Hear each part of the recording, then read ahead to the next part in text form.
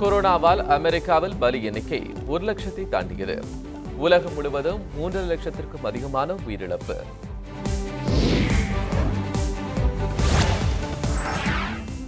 தமிழகத்தில் கொரோனா பாதித்தவர்களின் எண்ணிக்கை பதினேழாயிரத்து எழுநூற்றி இருபத்தி எட்டாக அதிகரிப்பு. பாதிக்கப்பட்டவர்களில் ஐம்பது சதவீதத்திற்கும் அதிகமானோர் குணமடைந்தனர்.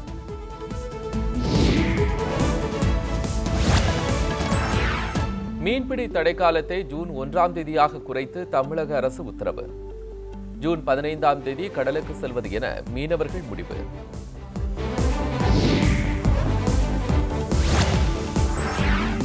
ஜூன் ஒன்றாம் தேதி முதல் கர்நாடகாவில் கோவில்கள் திறப்பு. தமிழகத்திலும் கோவில்களை திறக்க வலியுறுத்தி இந்து அமைப்பினர் போராட்டம்.